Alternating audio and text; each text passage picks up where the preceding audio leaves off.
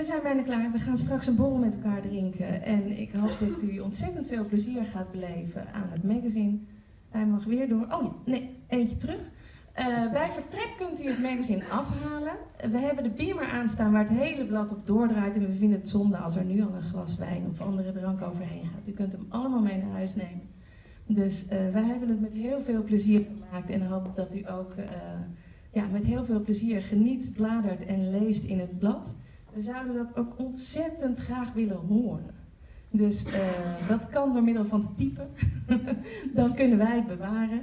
Dus um, als u dat bij ons wilt achterlaten, heel graag. En uh, ik wil u hartelijk bedanken voor de komst hier. We gaan beneden met elkaar proosten en uh, tot zover.